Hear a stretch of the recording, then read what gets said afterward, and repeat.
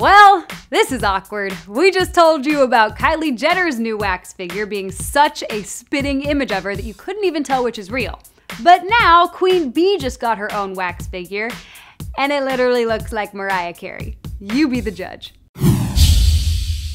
Hey gang, I'm Stephanie Gray, and for all the latest Beyonce drama, subscribe to Hollyscoop so you stay up to date. Now, like I mentioned, Beyonce's wax figure has been revealed, but rather than bringing fans in to admire it, it's bringing a lot of hate because the statue looks nothing like Beyonce. Now, this is just my personal opinion, but doesn't it look a little like Mariah Carey?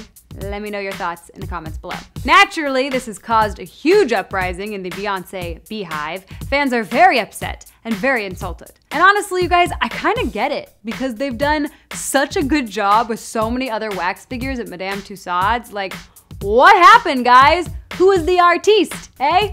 And, huh, Wanna know something else super awkward? When Madame Tussauds tweeted out a picture of the wax figure, they tagged Beyonce in it, right? She didn't like it, didn't retweet it, nothing like that. So the tweet only got like a handful of likes or retweets. Then, a Ciara super fan tweeted out the image, and it got some traction, but not good traction. The image is being compared to Lindsay Lohan, Jessica Simpson, Britney Spears, and Mariah Carey, my personal favorite. Here's what a few people had to say when they saw the image. I think this is the most disgusting, disrespectful wax figure of Beyonce ever. Someone else. How come Kylie Jenner wax figure so perfect and got Beyonce looking like Britney Spears? Next one. Theory. Beyonce wax figure makers have never seen Beyonce.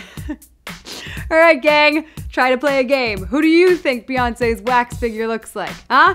And do you think they're gonna redo it now that they're seeing all the backlash? Let me know your thoughts in the comments below. For more entertainment news, click the boxes and make sure to subscribe to Hollyscoop.